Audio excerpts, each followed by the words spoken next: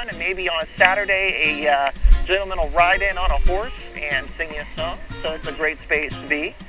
And over here on your left, you might notice we've got a little bakery called the Great Australian Bakery Company. Well, that's not too exciting of a factoid, but what was there at one point was the Kiva Theater. And the Kiva Theater was an early theater here in Scottsdale. And uh, an early Scottsdale resident, you might have heard of him, Steven Spielberg, attended that theater when he was younger. And he attributes some of his attendance of that theater to the creation of the inspiration for Indiana Jones. So, interesting spot. Unfortunately, there's not been enough interest to keep it a theater over the years. So, um, to the bakery we went.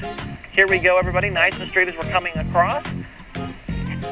Try to stay single file. I know you've got a Jeep behind you there. We'll be a little careful with him. Steven Spielberg did, our, uh, did attend Arcadia High School here.